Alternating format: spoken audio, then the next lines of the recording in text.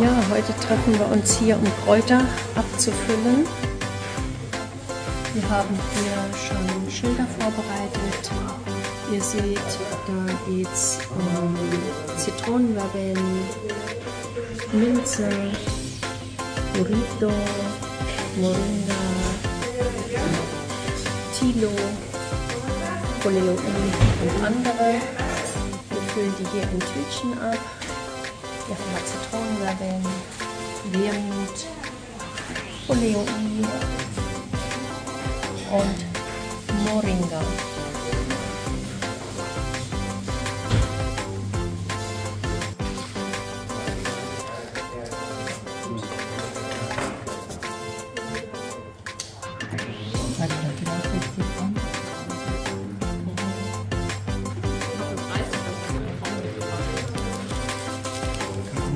Ihr Wir sind Aufbruchsstimmung. im Himmel mit Kräutern. Christiane, riecht so das ist oh, Zitronengras, ihr Leute.